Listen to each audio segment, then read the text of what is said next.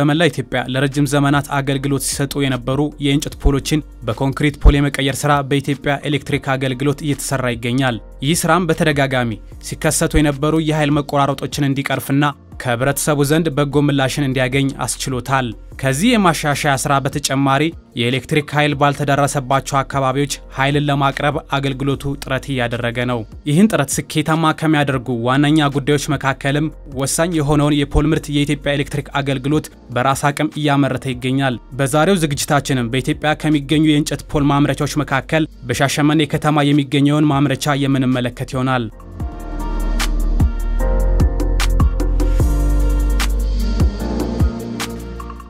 አሁን የምናሳያችሁ ማለት ነው እንጨት እንዴት እንደሚዘጋጅ በባለ 8 በባለ 9 ሜትር እንዴት ተቆርጦ ወደ ፕላንታችን እንደሚጓጓዝ እናያለን ማለት ነው።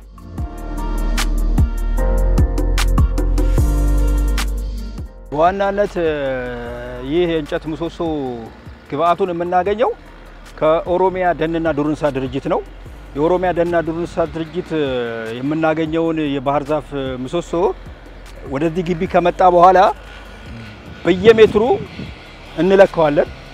በባለ 8 ሜትር፣ በባለ 9 ሜትር፣ በባለ 10 ሜትር፣ በባለ 11 እና በባለ 12 ከተለካ በኋላ በ caliper ይለካል። የእያንዳንዱ መስፈርት አላቸው pole ኦች ማለት ነው። መስፈርቱን የሚያሟሉ pole ኦችን እንቆርጣቸውና ቀጥታ ለመንከር ወደ ኬሚካል ለመንከር ዝግጁ እናደርጋለን ማለት ነው። ወደ plant ኣችን እናጓጉዛለን። በእንደዚህ አይነት መልኩ ካዘጋጀን በኋላ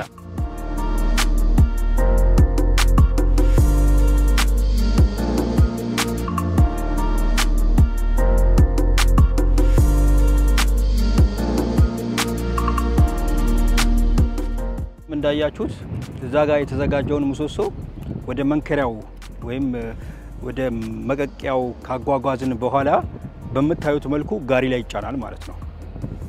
ጋሪው ምንድን? ጋሪ ላይ ከተጫነ በኋላ ወደ ትሪትመንቱ ወደ መቀቂያ ቬዝሉ ይገባል ማለት ነው።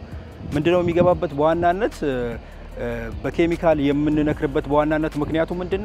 ያው በተለያዩ ነፍሳትና ተዋሳት እንዳይበላና ረጅም እድሜ እንዲያገለግል ነው። ምሰሶ በዋናነት በኬሚካል የመንከራችን ሚስጥር ማለት ነው። የተጓጓዘውን ምሰሶ ያው በቡጊ ላይ ጭነናል። በተለምዶ ቡጊ ነው የሚባለው ሀዲዱ ማለት ነው። ከ8 እስከ 9 ሜትር እስከ 10 ሜትር ድረስ እስከ 12 አምስቱም እንጨት ተጭኗል።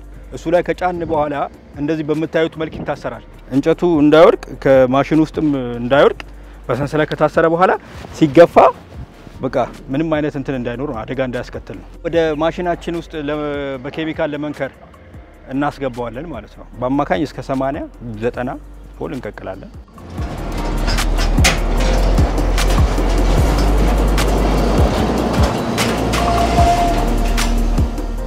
ያው እንደምታዩት አሁን ማሽን ውስጥ ገብቷል ማለት ነው። ማሽን ውስጥ ከገባ በኋላ ምንድን ነው ቀጥታ የማሽኑን በር እንዘጋና ውሃና ኬሚካል እናዋህዳለን ማለት ነው።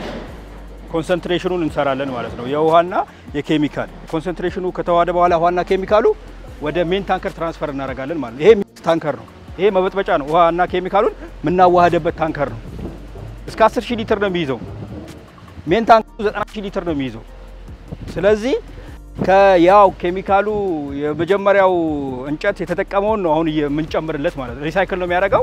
ግፋቢል መጀመሪያ 8000 ሊትር ሊጠቀም ይችላል፣ 9000 ሊትር ሊጠቀም ይችላል። እንደ እንጨቱ ውፍረትና ቅጥነት ነው። ከዛ በኋላ concentration ኑ መምጣቱን እናያለን። ትክክል ነው ወይ 6.5 እስከ 7.5 ከዛ ከ6.5 በታች መሆን የለበትም ከ7.5 በላይ መሆን የለበትም። የኬሚካሉንና የውሃው ውህድ ማለት ነው። ስለዚህ እሱን እናያለን ማለት ነው።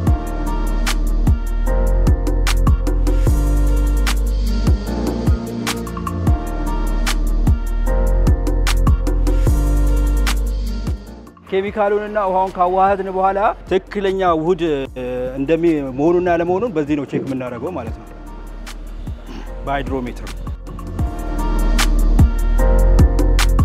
ይሄ ቴርሞሜትር ነው። ሙቀቱን እንለካለን። እዚህ ውስጥ ያለውን ኬሚካል ውስጥ ያለውን ሙቀት መጀመሪያ ማለት ነው።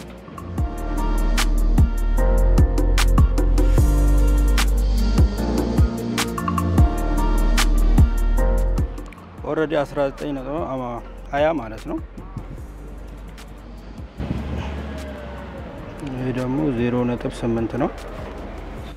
ሀያ ላይ እዚህ እንመጣና ቴርሞሜትሩ ሙቀቱ ሀያ ላይ ነው። ዜሮ ነጥብ ስምንት ነው። already አሁን ምን ላይ ነው ያለው? ስድስት ነጥብ አምስት ላይ ነው ማለት ነው። ኬሚካሉ አላነሰም አልበዛም፣ ትክክለኛ እንትን ላይ ነው ያለው ማለት ነው። ማሽኑ PLC ነው፣ program logic control ነው። ምንድነው? በ PLC ነው የሚሰራው። አንዴ እናዘዋለን፣ በቃ የሰው ንክኪ የለበትም። በኮምፒውተር ነው፣ control room አለ፣ እዛ ነው የምንቆጣጠረው ማለት ነው። አሁን በቃ already ሁሉንም process ጨርሰናል። እንጨታችንንም pole ኣችንን ማሽን ውስጥ አስገብተናል። የኬሚካል concentration ም አይተናል። ሁሉንም ready አድርገን ጨርሰናል።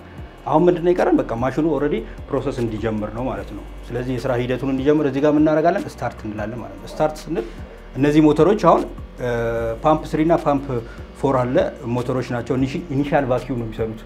ቅድም እንዳልኳችሁ እንጨት በተፈጥሮ እርጥበት ስላለው እርጥበቱን እንዲመጥ ይሄንን የመጀመሪያውን step ይሰራል ማለት ነው። እዚህ ጋር plant ready to run ነው የሚለው። እዚህ ጋር ይኸው ready ነኝ ማስነሳት ትችላለህ ነው እያለ ያለው።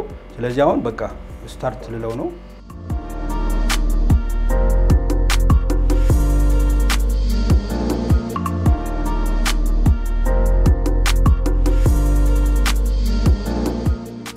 process ኡ ያው እንዳልኳችሁ ለሶስት ሰዓት ድረስ ይቆያል። ሶስት ሰዓት ማሽን ውስጥ ማለት ነው።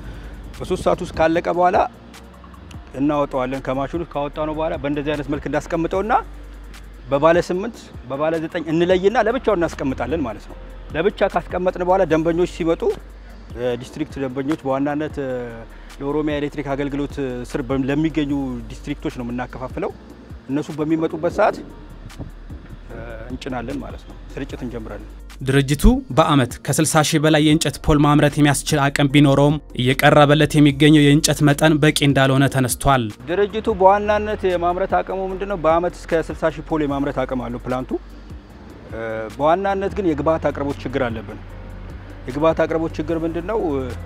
አብዛኛውን ምሰሶ የምናገኘው ከኦሮሚያ ደንና ዱር እንስሳት ድርጅት ነው። ግን ምሰሶ በአሁን ጊዜ በአጣናና በኮንስትራክሽን ፖል ነው እየተቆረጠ ያለው። ስለዚህ ወዲያው ለምሰሶ ሳይደርስ በአጭሩ ስለሚቆረጥ የግብአት አቅርቦት ችግር አለብን እንጂ የግብአት አቅርቦት ችግር ባይኖርብንና ማሽኑ በዓመት እስከ 60 ሺህ ፖል የመስራት አቅም አለው።